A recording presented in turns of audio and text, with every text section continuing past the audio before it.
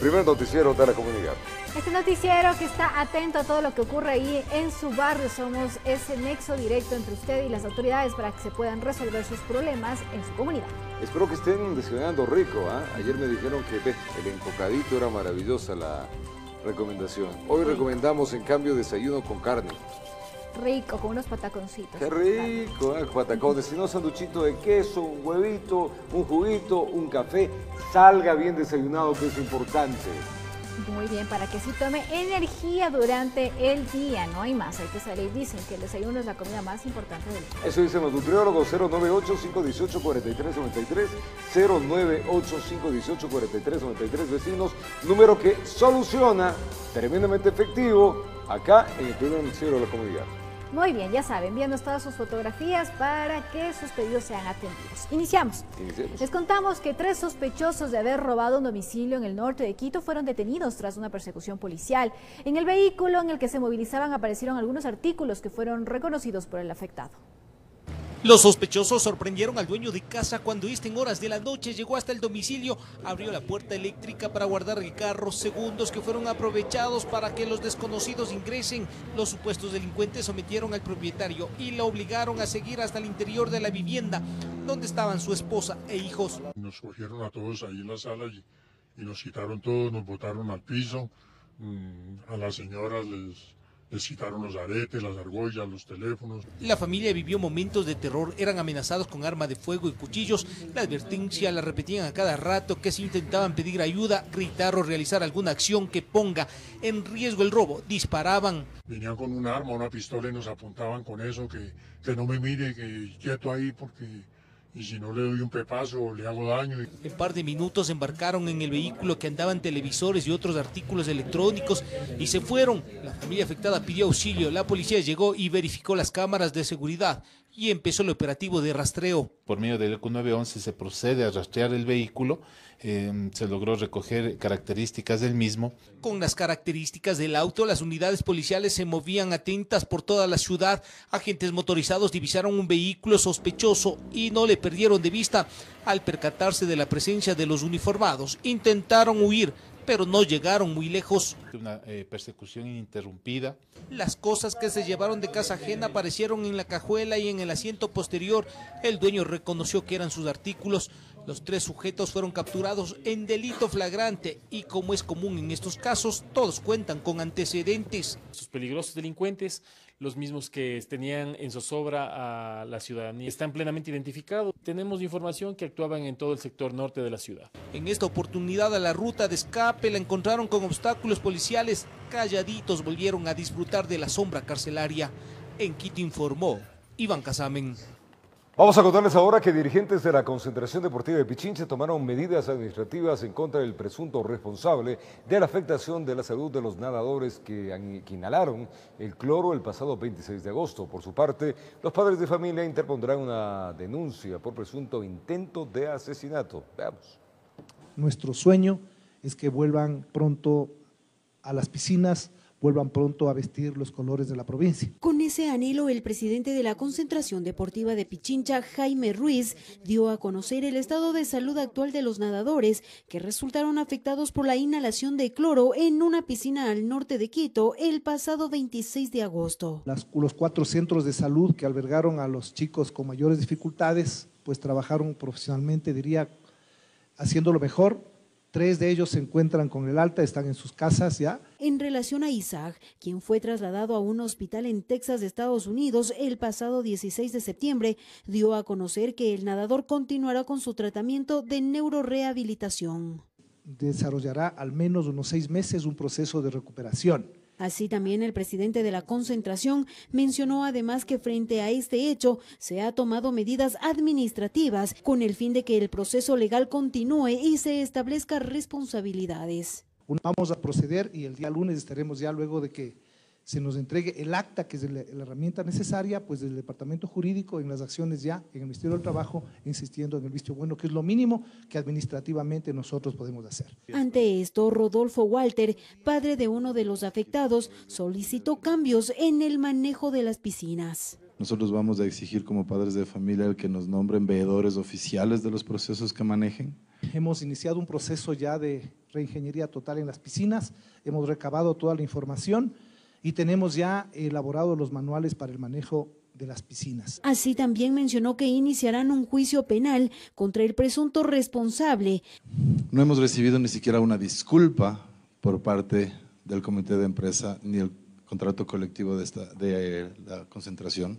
Esto fue un intento de asesinato y así serán los cargos por nuestra parte. Informó Patricia Aldaz.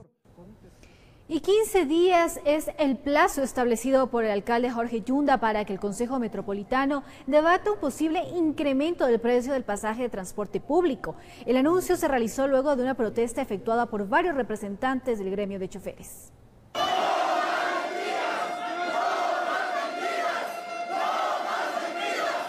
Varios altercados entre policías y manifestantes se produjeron fuera del edificio municipal, pues los representantes del transporte público urbano exigían hablar con el alcalde de Quito a fin de que se establezca una fecha para que el Consejo Metropolitano realice el primer debate de un posible incremento de la tarifa. En vista que ha terminado el plan de retribución y no hay una tarifa fijada, pese que ya existen los estudios aprobados por la Comisión de Movilidad más de tres meses. Hemos creído en la palabra de la autoridad pero ya nos cansamos y hoy sí vamos a tomar resoluciones. Si tenemos que ir a un paro, lo haremos.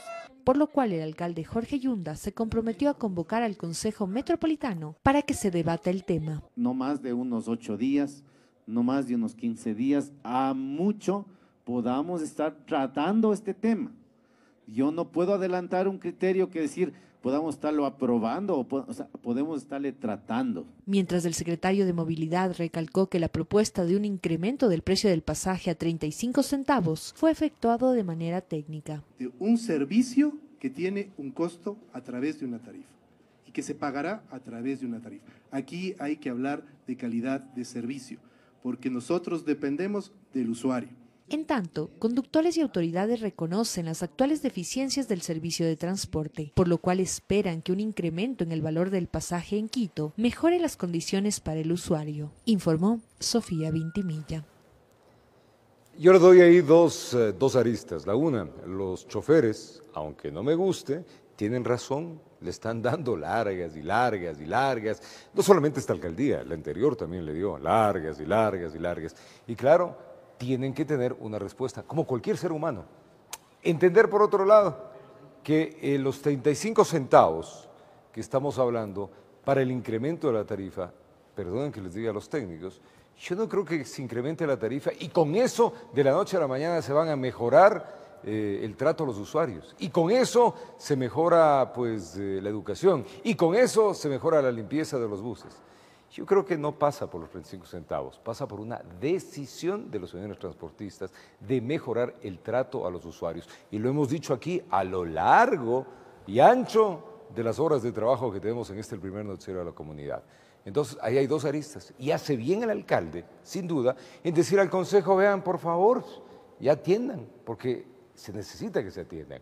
Entonces, veamos que ojalá el Consejo entreguen humo blanco les atiendan a los señores transportistas y evidentemente el municipio, porque les van a subir a 35 centavos, saquen los auditores y la gente que se encargue de verificar que de la noche a la mañana logremos lo que tanto quiere la gente, buen trato, profesionalismo, que paren donde tienen que parar, que no estén correteando, en fin, tantas cosas que ya hemos hablado. Ojalá con estos 35 centavos mejoren las situaciones. Vamos ahora con Andrea Orbe. Ella se encuentra en el barrio, mm, esto es Tambo del Inca. Los vecinos, atentos, autoridades, denuncian que son víctimas de la delincuencia. Bueno, en varios barrios de la ciudad piden por favor patrullajes. Así que, Andrea, buenos días. ¿Cómo estamos por ahí? Los vecinos con caras largas les veo. Ahí estamos para ayudarles. Adelante. Preocupados, Robert, amigos televidentes, de excelente día para todos. Así están los vecinos, Robert, preocupados, realmente alarmados por esta situación de inseguridad que ellos están viviendo en este que es el barrio Tambo del Inca 1 en el sur de la capital. Ellos lo que quieren es esto, seguridad. Voy a conversar con un vecino que hace poquito nos estaba comentando que justamente hoy en la madrugada ha sido víctima de robo. Buenos días, vecino, ayúdeme con su nombre y apellido. Cuéntenos su testimonio. ¿Qué fue lo que ocurrió? Buenos días, mi nombre es José Luis Altos. En la madrugada de, a la una y cinco de la madrugada fue víctima de un robo en mi domicilio, en el cual se me sustrajeron eh, unos aliños, ya que yo soy comerciante de aliños. Y creo que uno de los principales factores sería la falta de, alumbrado en la calle, ya que este, no hay servicio público y sinceramente la policía llega a evidenciar los daños, pero solo queda en eso. No, no hay respuesta positiva para ese tipo de afectaciones que uno sufre. Solo la policía llega después de que ya se ha ocasionado el daño. Muchas gracias, vecino. Yo voy a conversar con más moradores de este sector. Ellos me comentaban que ellos están organizados, pero sin embargo están deseando que las autoridades hagan también una, un trabajo de prevención. Vecina, ayúdeme con su nombre y apellido, por favor. Me decían ya son tres los robos que han tenido esta semana. Esta semana, sí. Mi nombre es Consuelo Arequipa, soy presidenta del Tambo del Inca 1. Y sí, lamentablemente en esta semana hemos tenido tres robos que hemos reportado a la policía y como ellos son de preventivo, ellos no pueden llegar a, más cuando ya el robo está hecho. Lo que nosotros solicitamos es a la, a la ministra de Gobierno que nos hace falta más unidades especiales, personal de investigación, personal de inteligencia, porque nosotros como moradores, nosotros proporcionamos las pruebas, evidenciamos los videos, lo que nos roban.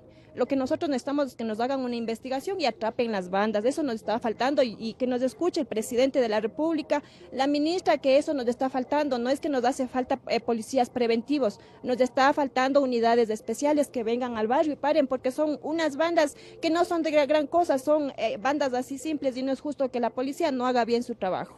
Usted me decía, me comentaba que en esta calle, en todo el barrio, ustedes tienen incluso cámaras de seguridad, es decir, pueden proporcionar a la Policía Nacional esta evidencia en video para que puedan investigar cuáles son estas bandas. Sí, nosotros tenemos en puntos estratégicos, gracias a los vecinos que han colocado las cámaras de video, nosotros tenemos. Nosotros estamos gustosos de brindar todas las pruebas necesarias para que hagan la investigación necesaria. Lo que pedimos es que nuestro comandante, la autoridad competente, designe al personal de investigación para que atrapes a las bandas. No es justo que nuestros moradores con tanto sacrificio eh, eh, tienen sus cosas y nos roban, no es justo, queremos seguridad. Perfecto, muchísimas gracias. Voy a conversar con otra vecina por acá. Véngase por acá, por favor. Ayúdeme con su nombre y apellido. Es decir, que ustedes no pueden salir tranquilos, eh, pues por la noche. Hay realmente preocupación por esta inseguridad.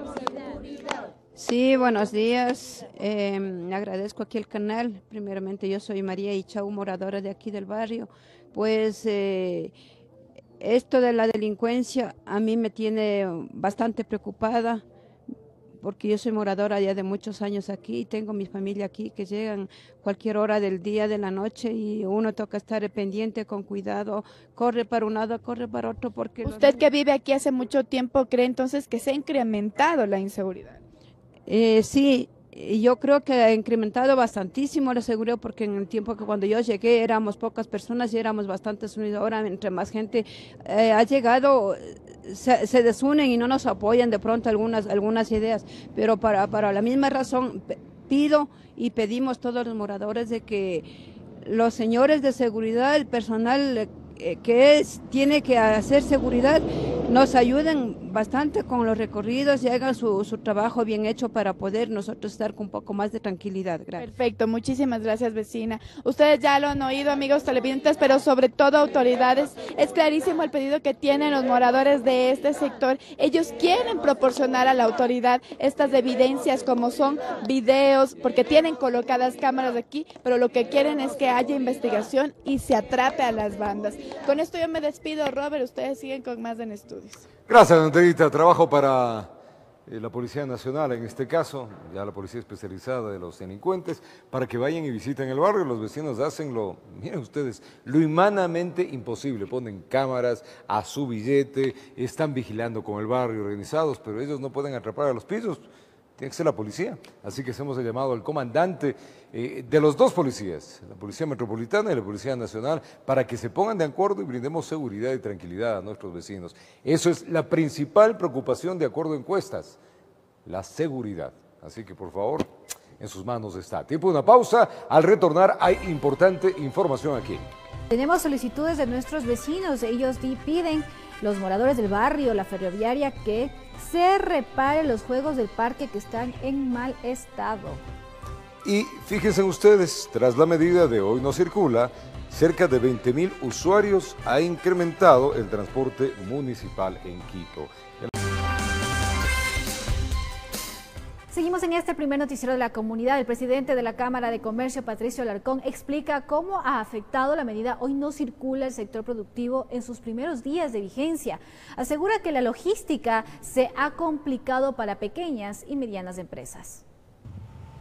Los datos que ha reflejado el municipio de Quito respecto de la entrada en vigencia de la medida de restricción vehicular denominada Hoy no circula son positivos. A decir de las autoridades de la Secretaría de Movilidad, en la semana del 9 al 13 de septiembre se aumentó la velocidad de los vehículos de 13 kilómetros por hora a 16 en horas pico y en horas valle se pasó de 18 kilómetros por hora a 25. Hay conductores que concuerdan con estas declaraciones se ha evitado la contaminación, se puede circular mejor. ¿Le parece que está mejor el tráfico? Sí, sí, un poco. Muy excelente, veo que está más fluido la carretera, o sea, como dice uno, se puede movilizarse en menos tiempo. No así la Cámara de Comercio. Su presidente Patricio Alarcón asegura que el sector productivo se ha visto afectado con la medida. El resultado no se mide en una o dos semanas. Se va degradando la situación de las empresas en el tiempo. ¿Por qué? Porque suben sus costos, porque tienen activos parados. A pesar de que el transporte pesado no se incluyó en la medida del hoy no circula, sino que continúa con la del pico y placa, la logística de las pequeñas y medianas empresas, a decir de Alarcón, son más afectadas. Y tú puedes tener un, un tráiler que arrastra 20 toneladas, deja en las bodegas del producto, pero ¿cómo despachas ese producto de la bodega al eh, almacén y el almacén cómo, cómo vende al consumidor final si es que se queda sin producto. El próximo trimestre, cuando son los meses en donde el comercio aumenta, podrían verse más perjudicados. Alarcón no descarta que los precios, por ejemplo, de muchos artículos aumenten. A ti te sube tu estructura de costos, porque tú tienes, y te doy un ejemplo, que contratar un camión más a la semana, ¿a quién vas a trasladar ese costo? Y es al consumidor final. Porque... Dice que es necesario pensar en una alternativa para dejar de afectar al sector productivo. En Quito informó Andrea Urbe. Y sin duda tiene que escuchar al sector productivo. De alguna manera es el pulmón también, el corazón de la ciudad.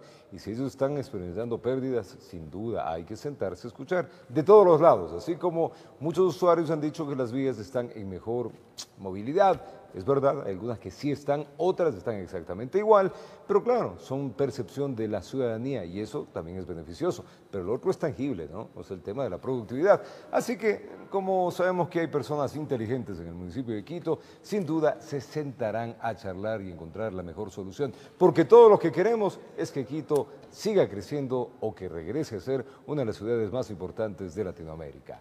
Cerca de 20.000 usuarios se incrementaron en el sistema de transporte municipal de nuestra ciudad tras la vigencia de la medida Hoy no circula. Según la empresa pública y pasajeros, para cubrir esta demanda, la flota aumentó en un 8%. Veamos. Diariamente el sistema de transporte público municipal brinda el servicio a 600.000 personas, un número que aumentó considerablemente en la semana y media que lleva en vigencia la medida de restricción vehicular Hoy no circula, detalla el gerente de la empresa de pasajeros de Quito, Darío Chávez. Hemos tenido un incremento del 3.8%. ¿Esto qué quiere decir? Que hemos tenido un incremento diario de 20.000 pasajeros más, tanto el corredor trolebús como el corredor ecovía demanda de pasajeros para la cual señala la empresa siempre estuvo preparada. Por ello, la flota que constaba de 134 unidades se aumentó en un 8%.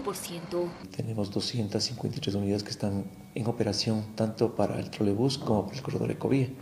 De esta manera hemos solventado este incremento que se nos ha presentado durante esta semana permitiendo también una reorganización de rutas y frecuencias con tiempos de espera no mayores a tres minutos. Hemos hecho una modificación en el circuito C2 en el cual se ha optimizado este, estas unidades para, sobre todo para la hora valle. Esto quiere decir que en la hora valle eh, tenemos 10 unidades más que se implementan al circuito 2, teniendo en horas pico un intervalo de dos minutos y lo que es la hora valle, obviamente unos tres minutos. Con esta flota que se incorpora en la hora valle tendríamos mayor capacidad de cobertura.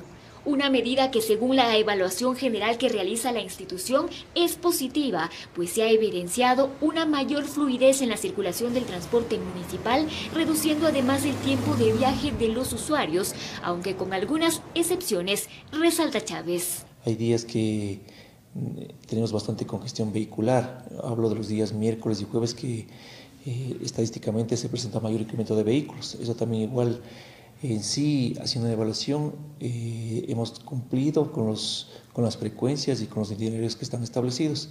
No hemos tenido ninguna eh, demora en el servicio, ¿no? teniendo la cobertura necesaria. Sistema de transporte público municipal que prevé mejore considerablemente cuando entre en operación el Metro de Quito, informó Adriana Rojas y se realizó un recorrido por los puntos que conformarán el denominado Corredor Metropolitano de Quito. El objetivo fue mostrar las características de los espacios para que quienes están ya concursando para construirlos puedan continuar con la elaboración de sus proyectos.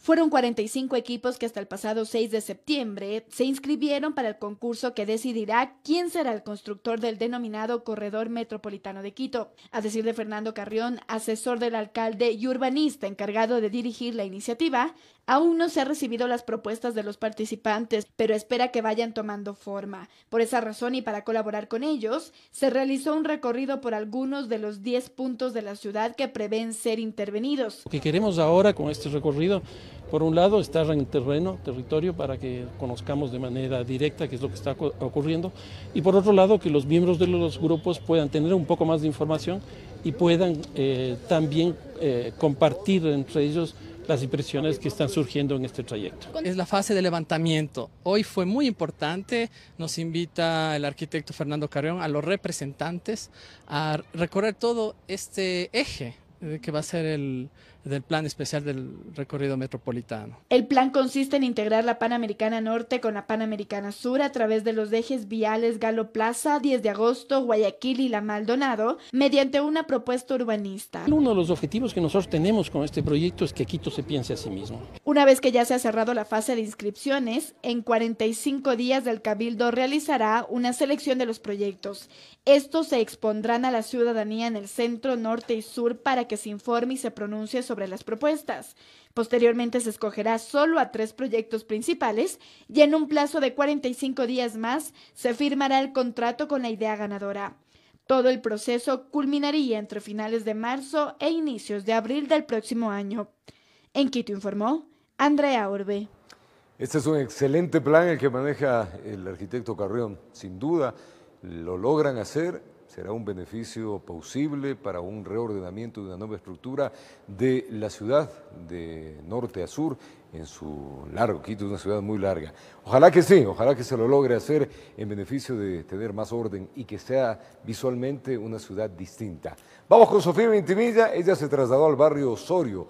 Las autoridades de la Secretaría de Seguridad instalaron cámaras de vigilancia y llevan adelante charlas de prevención de desastres naturales. Recordemos que este sector se vio afectado más o menos hace un año por un aluvión. Así que Sofía, buen día. Adelante con su información.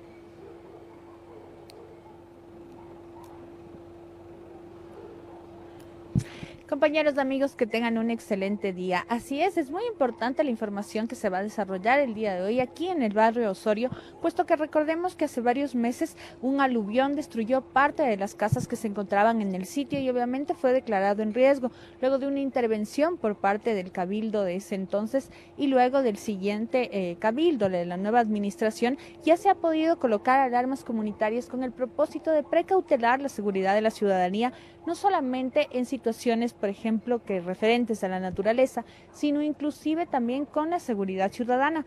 Para ampliar información, entonces vamos a hablar con el secretario de Seguridad, eh, Euclides Mantilla. Buenos días, para que por favor nos eh, comente cómo es que se desarrolló y se puso estas alarmas comunitarias y si es posible poner en otros barrios que tengan condiciones semejantes a esta.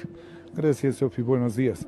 Sí, eh, eh, una de las resoluciones que sacó el Honorable Consejo Cantonal fue justamente la reparación integral de los daños que causó ese aluvión que hubo en el mes de marzo en el sector de Osorio. Dentro de eso, pues está la reparación tanto a los damnificados, a las familias, como para la prevención y del riesgo que pueda darse a futuro. Así es que para esta parte de la prevención es que se ha colocado estas alarmas comunitarias. De aquí en el sector eh, de Osorio están eh, dos de las 1.201 que tiene a nivel de toda la ciudad.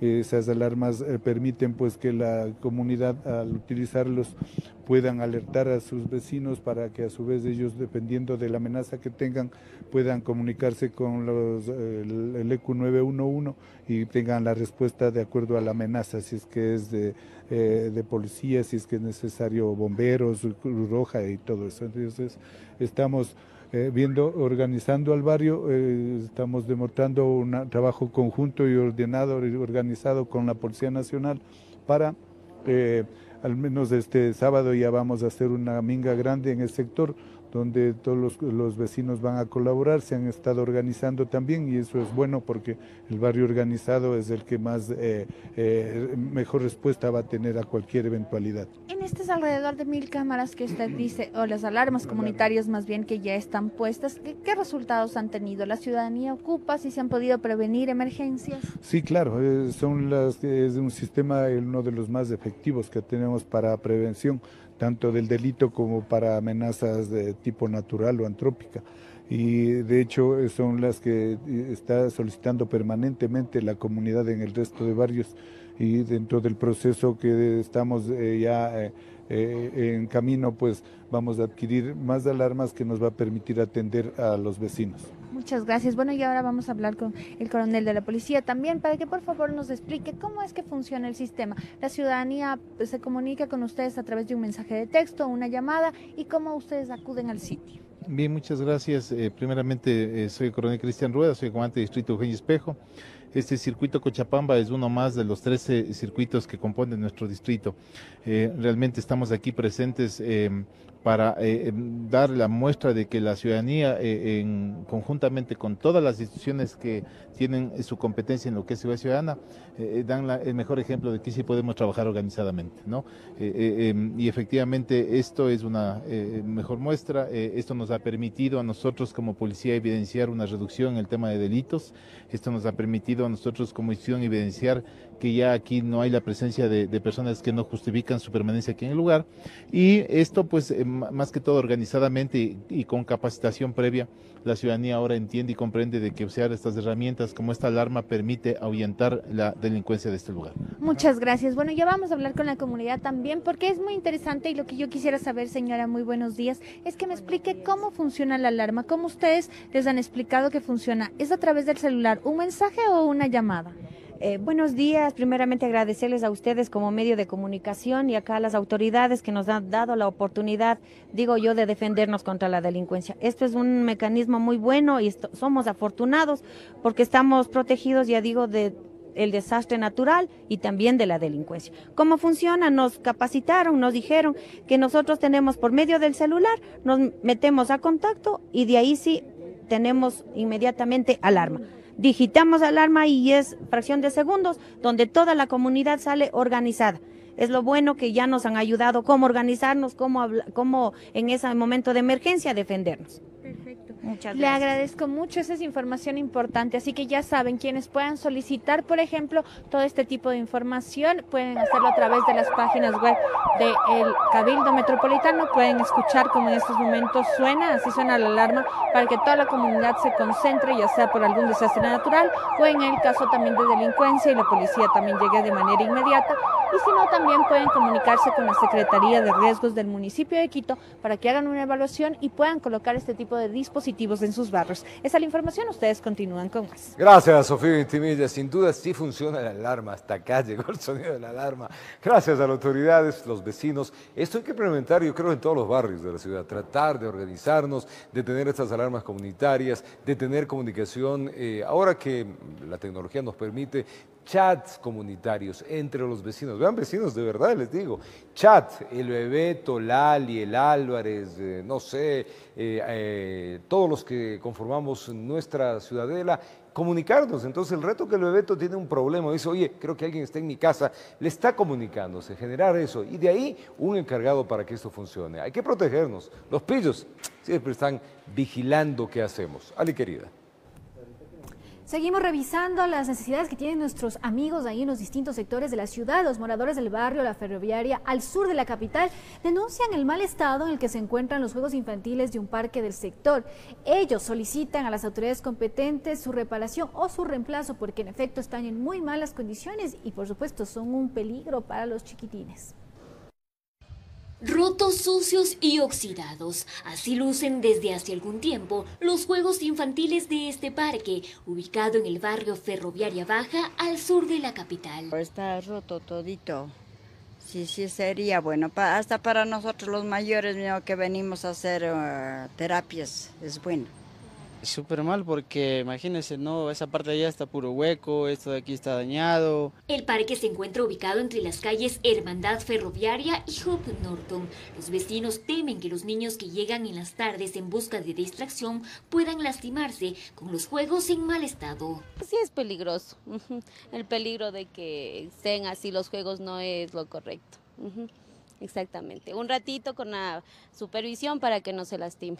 Dicen que el aspecto de este lugar incluso se presta para que sea utilizado por las noches como guarida de ladrones, en el cual además ingieren bebidas alcohólicas. Usted sabe ver tipos aquí en el tarde fumando. Ese palo de ahí lo cogen el poste para estar orinando, igual usted ve lo de allá, está todo dañado. A esto se suma la falta de basureros, que ha convertido a este espacio de recreación en un verdadero botadero. Eh, también basureros, sí, porque no hay ni, ni, pequeños ni los grandes están allá, pero eso va igual a veces falta llenito. No ponen los basureros entonces siguen votando en la calle. Por ello y más hacen un llamado de atención a las autoridades competentes y piden la reparación de los juegos infantiles o la posibilidad de que estos puedan ser sustituidos por unos nuevos. Deberían arreglar, eh, arreglarlo más para que, porque aquí sí pasan bastante niños jugando en la tarde. En la tarde, los fines de semana pasan bastante. Deberían eh, tomar en cuenta también a los niños que deberían eh, recrearse. Muy mal de parte de, del municipio es, ¿no? Que deberían arreglar los parques. En Quito informó Adriana Rojas. Somos campeones para pedir, pedir, pedir, pero organícense, pues. O sea, no quiero defender al municipio, ni mucho menos. Es obligación de ellos tener los parques en buen estado. Para eso hay un presupuesto. Pero ya luego de que les pongan, les arreglen, porque eso van a hacer, poner, arreglarles y dejarles en buen estado, vean vecinos, organícense, no sean malitos, Cuiden lo que el municipio, la autoridad les entrega. La suciedad, la ruptura, los borrachos, lo que se orinan, eso no puede controlar la autoridad. No podemos tener un policía para cada uno de los ciudadanos, está en nosotros. Y si hay malos ciudadanos, por Dios, organicémonos todos en la ferroviaria. A ver, un, comité de mm, moradores del sector que se hagan cargo justamente de velar que lo que les van a poner los basureros, las papeleras, eh, que el césped esté cortado, que todo esté bien, que se mantenga. Una sociedad debe entender que también no solamente hay que pedir, hay que organizarnos. Y lamentablemente, en los últimos años lo que nos han enseñado, y por eso replicamos, es pedir, pedir, pedir y nosotros hacernos los locos. Y una ciudad es de dos, de las autoridades y de nosotros. ¿Y saben de quién más? De nosotros. Y ahí sale la plata. Mi querida Mahana, buenos días. ¿Cómo estamos? ¿Estamos bien? ¿Reinando? Me parece bien, así. Estamos. Ponga en pantalla, que sufran los sufridores, los que andan sufriendo por todo. Oigan, den arreglando esto, no sean malitos. ¿Saben dónde es esto? Vean, esta es la vía que va justamente, miren, un año, va al Quinche, un año. Hace un año nosotros pedimos, vean cómo está la vía, un año Ministerio de Transportes y Obras Públicas, un año. Esto es un atentado para las personas que manejan en la vía. Vean cómo está de levantado. La vía que va al Quinche, la vía de la que va al aeropuerto y de ahí al Quinche, un año. O sea, no sean malitos. Ministro autoridades el que le competa. Y la Junta Parroquial del Quinche, ¿qué espera para poner el grito en el cielo? Vean estas vías. Qué horror, ¿no? Realmente, qué horror. Según la autoridad de tránsito, el pico y placa ha sido un éxito en la entrada a los túneles San Roque y estamos una hora impedido de estacionar y no en tránsito. ¿Qué pensarán que no tenemos derecho a ganar nuestros trabajos de destinos? que yo decía, en algunas zonas, si bien es cierto, sí ha fluido, pero en otras, como en esto, los túneles, oh, miren ustedes, 8.33 AM y el vecino va una hora y no se mueve. Ahí hay que mirar qué se hace. Buenos días TVC, soy Uda, barrio La, la Bota. Em, Basimir Lenín. Está con, con puros huecos y baches desde la otra administración que ya están arreglando las calles. No se olviden de esta vía, es fundamental para salir a la Panamericana Norte y la Simón Bolívar. No se olviden de nosotros, señor alcalde. Vean este pavimento, ¿ah? Es barrio La Bota, avenida Basimir Lenín. Temeraria conducción de choferes de buses de transporte público. Qué lindura, ¿no? ¿Ustedes creen, y eso les digo a las autoridades y a los transportistas, que con la subida de 35 centavos, la educación, el respeto, las normas de tránsito se van a mejorar? Vean estos tres angelitos, pero véanles. O sea, es increíble, ¿no? Ven, ahí están. Por donde no deben ir. ¿Creen que se va a mejorar? Yo dudo realmente. Buen día, esta es la calle Márquez de Solanda en Conocoto, perteneciente al Distrito Metropolitano de Quito. En esta calle por más de dos años se encuentra en estas condiciones. Lo único que realizan es tapar huecos en la época de lluvia, pero la condición de la vía es pésima. ¿Ven? Terrible. Terrible. Conocoto, hay muchas vías en Conocoto, bueno, en general en los chizos, ¿ah? Eh, anunciaron con bombos y platillos la prefecta Pavón, comenzamos la repavimentación de la vía Hilaló. No sé cuándo. Ahí, ahí está. Y es una vía que también está un verdadero desastre. Ven, ahí estamos. Que hemos hecho en conjunto con el municipio de Rumiñao, municipio de Quito y prefectura. Ahí todavía no empiezan a trabajar. Ayer en la plaza de Llano Chico, comerciantes invadieron la acera, el carril derecho de la calle principal, creando caos vehicular. Pero qué lindura, y nadie les puso orden. Vean autoridades, Llano Chico, los comerciantes, pusieron, vean, ahí, para, para evitar la lluvia. Qué increíble. Buenos días, señores de TVC, fuga de agua en la calle Colón, en la Circasiana. Esta foto es del domingo. Qué desperdicio de agua. Circasiana, agua potable, se está yendo, ven arreglando. Buenos días, por favor, sector de las casas frente al Colegio Carlos Zambrano. Construyeron unas gradas en plena vereda, se hace imposible la circulación y la otra vereda es dañada, llena de huecos, hierbas, que ha habido accidentes. Entonces, obligados, nos toca bajar a la calle con el riesgo de los buses y las motos. Vean, por favor, Carlos Zambrano. Ahí está, ven. Es que, pero es que maestro, no hay nada que hacer. Oye, ¿quién controla? Ciudadanos de Quito no pueden hacer eso. La, vereda, la vereda es pública, no es, de, no es de todos. Qué increíble para poder parlante. No, pues, o sea, y vean cómo está la vereda. No, pues, alguien que les ayude a estos vecinos, no sean malitos. Carlos, frente al colegio Carlos Zambrano, sector de las casas. Esto es de Ripley. Construyó vereda, en, le construyó escalinata en la vereda. De Ripley, realmente. Buenos días, DBC, soy del barrio La Estancia de Chillogallo. Mi, mi pensar es que todas las semanas nos quitan el agua. No nos comunican, situación que, eh, a las que le van a quitar el agua siempre. Sucede este inconveniente desde las 10 a.m. Regresa a medianoche, por favor. Gracias. ¿Dónde es? En Chillogallo. Aquí. Les quitan el agua permanentemente. Estimados vecinos, buenas tardes. Parque ubicado calle Sosoranga y pasaje 1E, barrio Promoción Familiar Sur de Quito. Tenemos tiempo que no han venido a cortar el césped y el mantenimiento del parque. Llevamos más de la mitad del año y no hemos tenido respuesta. Seis meses, señores de espacio público, de parques virjatines, no han ido por ahí. Vean cómo está decrecido el césped, ¿no? Hablamos de la calle Sosoranga y pasaje 1E. Hasta ahí llegamos, mi querida Sultana. El aplauso del día se lo lleva, por favor, el aplauso. Póngame el aplauso del día. Se lo lleva este vecino. Oye, es increíble. replay. No, no, es increíble. O sea, decidió, yo no sé si es Hacerse la escalinata empresa en la vereda y poner ahí el casas. parlante. Oye, y lo más grave, nadie de las autoridades, o sea, oye, oye, un, un- un comisario, alguien que, imagínate que, que a, a todo el mundo se nos ocurre utilizar la vereda como nos dé la gana. Es increíble. Y vean el estado de la otra vereda. Ojalá ya nos cuenten los vecinos y la autoridad si logramos por lo menos conmover el corazón de un alma piadosa que se llame comisario y que vaya y que le ponga en orden. Totalmente, imagínense eso ahí. No hay, la- está comiéndose la vereda, no hay cómo pasar con tranquilidad. Terrible, terrible. Bueno, les contamos que transeúntes y comerciantes del sector del centro histórico solicitan a las autoridades competentes la reparación de una etapa de revisión ubicada sobre una de las aceras. Este problema ocupa todo el ancho de la vereda, lo cual dificulta el tránsito. El inconveniente está ubicado sobre la calle Benalcázar, entre La Mejía y Olmedo. De acuerdo a varios transeúntes, el problema persiste no menos de un mes. y hasta algunas, eh, algunas semanas así. Y nosotros, nosotros eh, circulamos eh, todos los de la tercera edad. Entonces es molestoso porque a veces ya no se puede con las piernas. Me toca venir por acá y se hace más peligroso. Cerca existen entidades encargadas de actividades para adultos mayores, por lo que en su mayoría este grupo social es el más afectado por el daño en la acera. Ahí alguien puede caerse y nosotros que ya estamos en edad avanzada nos es muy dificultoso.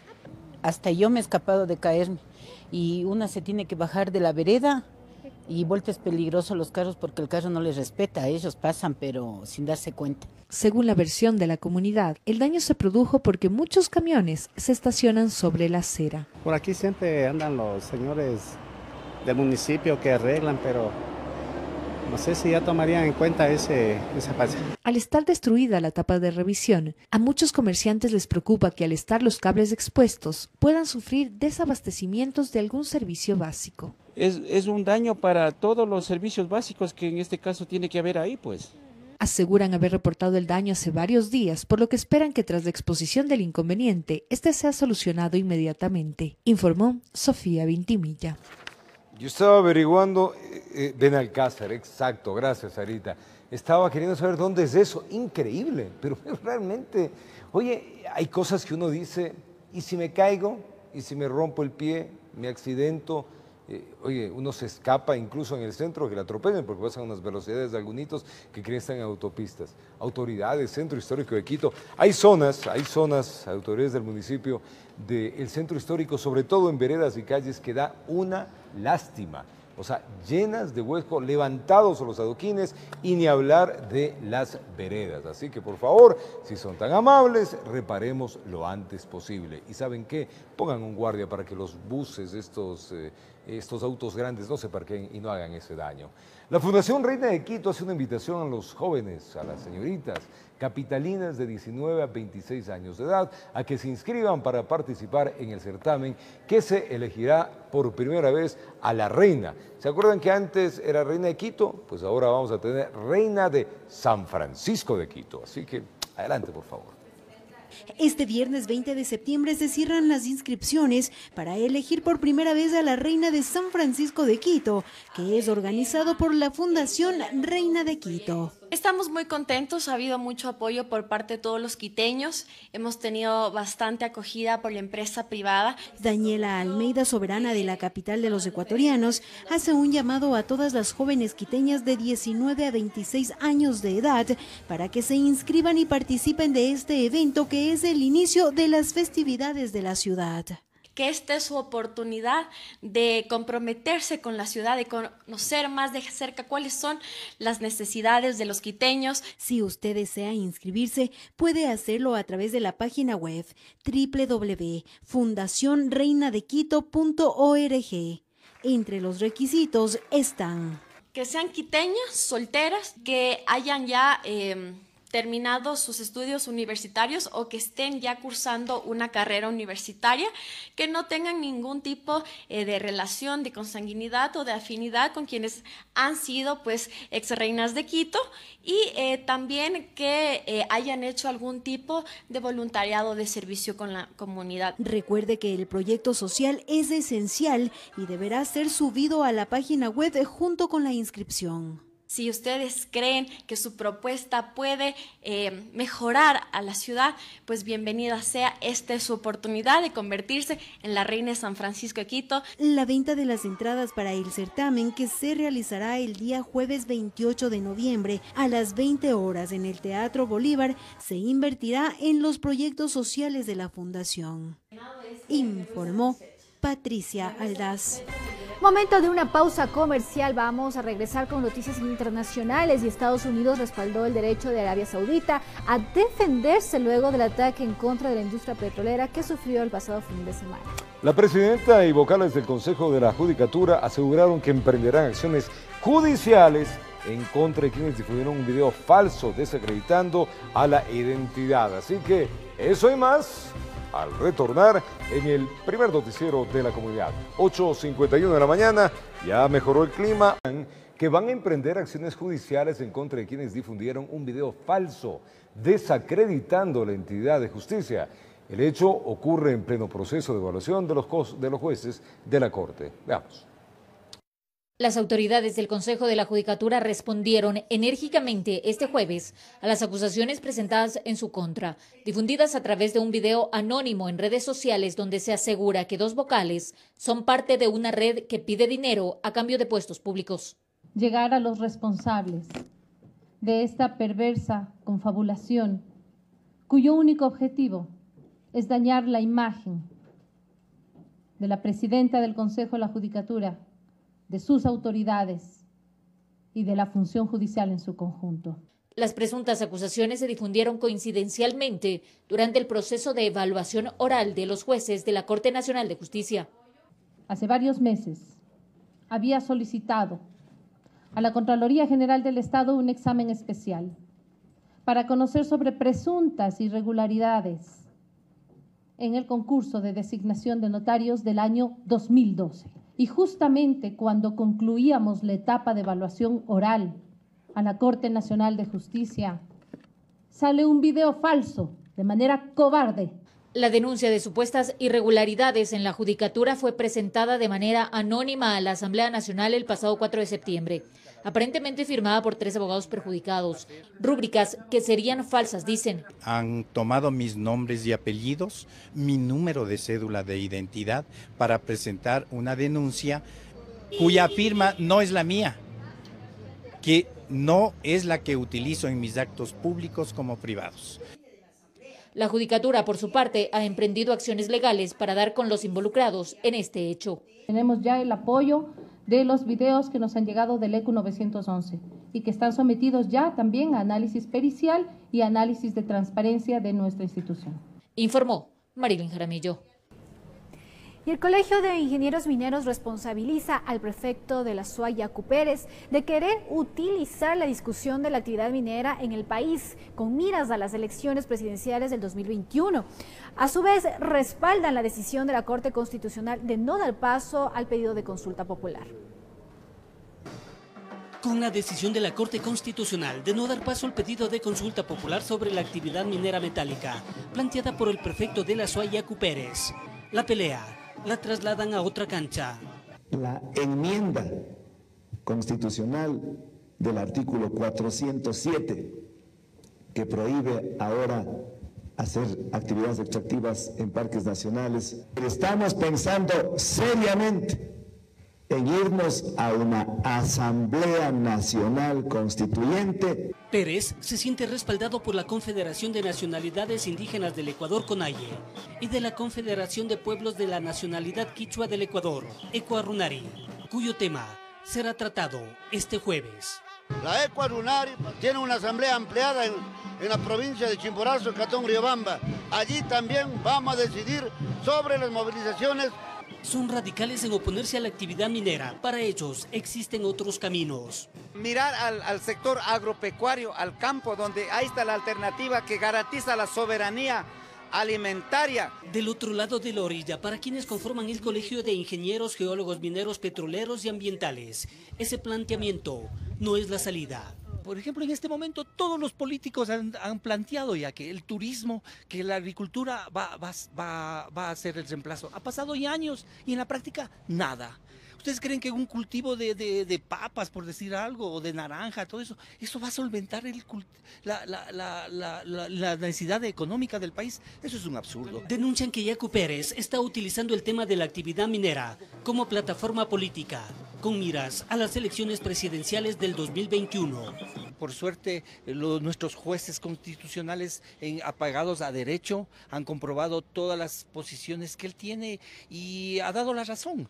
Yo pienso que en ningún país del mundo, si tenemos un recurso de algo, de qué vamos a vivir, ¿por qué lo vamos a dejar bajo tierra? Si, lo hacemos de una manera racional, técnica, eh, la minería sustentable, no hay de qué temer. Sin embargo, en la Corte Constitucional todavía quedan pendientes por resolver alrededor de 30 amicus curiae, recursos legales mediante los cuales se insiste en la negativa a la actividad minera formal. Informó Héctor Romero. Imagínense ustedes que un familiar suyo desapareciera por 40 años. 40 años de no verles, 40 años de buscarle, 40 años de que sencillamente se le tragó la tierra. Después de 40 años, en Riobamba, la Policía Nacional logra dar con el sitio, logra dar con esta persona que había desaparecido y que su familia le estaba buscando. Bueno, la INACET, la policía, hicieron un gran trabajo y les contamos el desenlace de esta historia. Veamos. Sentimientos encontrados se notaban en el rostro de Laura Quispe, oriunda de Payatanga, quien hace más de 40 años salió de su casa y nunca más regresó. A través de todo ese tiempo yo he buscado y he extrañado y gracias y he encontrado.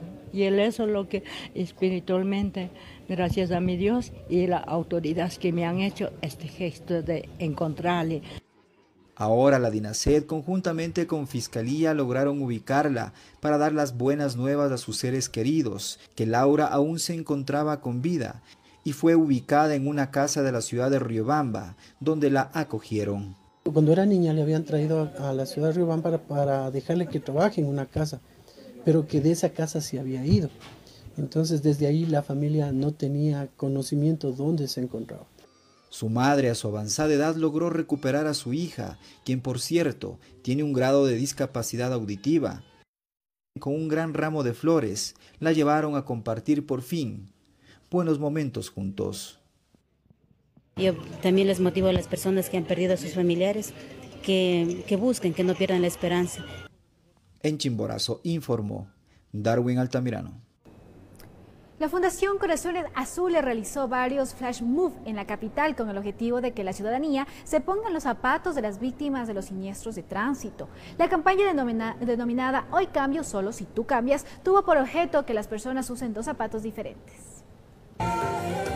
Al son de la música, famosos que apoyan la campaña Hay cambios solo si tú cambias de Corazones Azules, que busca concientizar a las personas para evitar accidentes de tránsito en las vías del país, bailaron una coreografía y se pusieron dos zapatos distintos. El objetivo es hacer conciencia de que las familias que han tenido víctimas han sufrido algo y eso te llame a tener una responsabilidad distinta de tu labor en el volante o tu labor como peatón. No se enfoque en las víctimas, se enfoque en el trabajo que queremos hacer para evitar que haya más víctimas. Según Rosa Carrera, presidenta de la fundación, la intención de la campaña es que las personas se pongan en los zapatos del otro, de aquellos que perdieron a un ser querido por un siniestro. Porque de nosotros depende pasarnos el semáforo eh, en, rojo, de nosotros depende hablar con el celular cuando manejamos, de nosotros depende tomarnos unas copas de más y manejar, de nosotros depende de alguna manera la seguridad vial. Es así que se realizaron flash mobs en diferentes puntos de la ciudad, en donde la canción de la campaña acompañó los movimientos de los participantes ponerse en los zapatos de las familias de las víctimas y también de víctimas, porque las víctimas no solamente son muertos, hay víctimas con que han terminado con parálisis o en sillas de ruedas y también vale la pena ponerse en, los zapatos de ellos. Se recordó además que el 24% de los siniestros se dan por el uso del celular mientras manejan. Es así que al año se registrarían cerca de 3.000 muertes por accidentes en el Ecuador. Así también 5.000 personas serían atropelladas cada año en el país y movemos a la ciudadanía para que este cambio se produzca. Se produzca porque de alguna manera tenemos que empoderarnos del cambio. Informó Patricia Aldaz. Mucho está en la sociedad y está en nosotros hacer ese cambio. Y bien hace la Fundación Corazones Azules de emprender una campaña tan loable como esta para defender la vida. Pero en usted está tanto el que conduce el auto como ustedes, también los peatones, en cuidarnos mutuamente. Es una doble responsabilidad. El presidente de la República, Lenín Moreno, participó junto a funcionarios de Estado en la edición número 43, la 43 edición de El Travel Mart Latinoamérica. En este año, pues se escogió a Quito como sucede, y este es el principal evento, amigos, que se desarrolla en los negocios de la industria de viajes y destinos de América Latina. Veamos. En medio de una noche cultural, el primer mandatario Lenín Moreno, acompañado de varios invitados y autoridades, disfrutó en la iglesia de la compañía de un concierto brindado por la Sinfónica Nacional en homenaje al Travel Mart Latinoamérica. Bienvenidos a nuestro hermoso Ecuador para la edición 18 de Travel Mart Latinoamérica.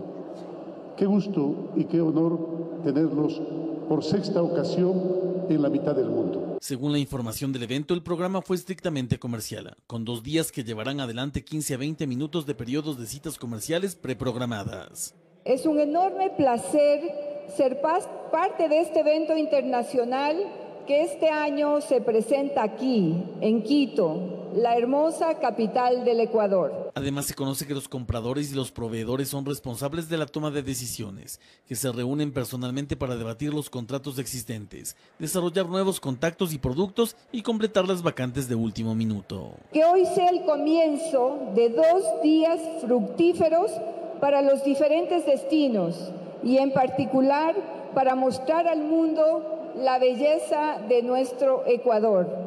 Los compradores son operadores turísticos mayoristas, organizadores de reuniones y empresas de incentivos de Estados Unidos, Canadá, México, Asia Pacífico y Europa, mientras que los proveedores son responsables de la toma de decisiones de América Central y del Sur, incluyendo hoteles, operadores receptivos, aerolíneas, juntas de turismo y promoción, empresas de alquiler y de automóviles.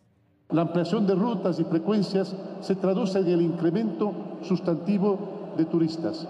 Sin embargo, lo mejor de esta actividad es el efecto multiplicador que tiene en la economía. Si bien la inauguración del evento fue este 18 de septiembre en el Centro Cultural Metropolitano, la clausura del mismo será el viernes 20 del mismo mes, en el Centro de Convenciones Metropolitano, en donde Quito Turismo tiene preparado la presentación de algunas de las experiencias especiales de la capital del centro del mundo informó Javier Rosero.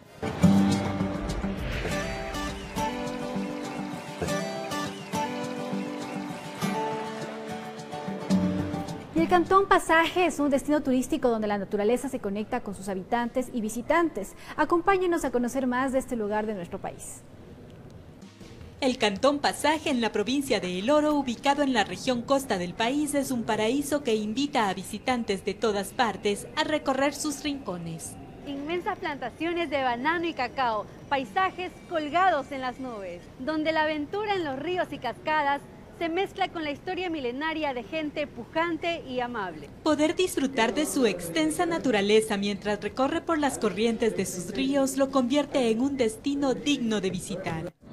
Nos encontramos a orillas del río Jubones, una cuenca hidrográfica muy importante de la provincia del Oro, en el Cantón Pasaje. Es un río muy hermoso, tiene unos niveles ideales para la práctica del kayak y rafting. Y es que el ecoturismo se ha convertido en la fuerza económica de sus habitantes, quienes ofrecen una variada lista de actividades recreativas y deportivas para los turistas. Estamos emprendiendo lo que es el turismo comunitario de aventura, ya que poseemos eh, recursos naturales muy hermosos, como balnearios de agua dulce, aguas termales, tenemos una cascada y, y, nosotros no estamos haciendo daño a la naturaleza, más vale la estamos conservando. El caldo de tubo, conocido también como caldo de salchicha o de manguera, es un plato apetecido por todos. Y es que su sabor hace que los que prueben esta comida siempre regresen por más. Primerito es lo que se pone a hervir a hoy, el agua. Siempre tenemos costumbre de preparar bastante porque como se vende tiene bastante acogida el caldito de tubo. Se pone la cabeza de chancho bien lavadita, se pone la asadura. El Cantón Pasaje, sus atractivos turísticos y gastronomía, pero sobre todo la amabilidad de su gente los esperan. Con la realización de Marco Ruiz, informó Sara Para que nos acompañe y amanezca bien informados. Gracias, buen día, que vivamos un día a la vez, 22 horas, emisión central de las noticias de Televicentro. Mitad de pantalla, las dos nenas aparecen ya. Hola muchachas, ¿cómo están chicas? Hola chicos, ¿cómo están? Muy buenos días, súper contentos, salió el sol, teníamos el miedo de que esté lloviendo el día de hoy. no, y al parecer el invierno empieza a llegar en la capital, ayer hizo mucho frío por la tarde, llovió bastante fuerte, por mi sector, por donde vivo, también estaba lloviendo por la noche. Sector pelucón, pues pelucón. Igual que el tuyo, Robert. Claro, pues pelucón.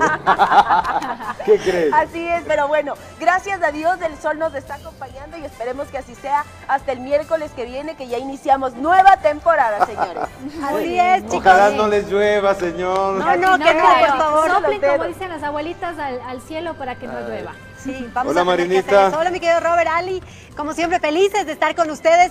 Con un sol que parece eh, que nos va a atormentar el día de hoy, porque no Eso veo me gustó, nubes. tormenta, No veo nubes. Igual, eh, ayer también yo también con un poco de miedo en la noche porque llovió toda la noche. Sí, Pero bueno, ahora vamos a ver qué nos depara. Ya saben que el clima de Quito es bastante raro, bastante cambiante. Ahorita estamos con sol, después de un ratito llueve. Pero Oye, ¿y los caballeros?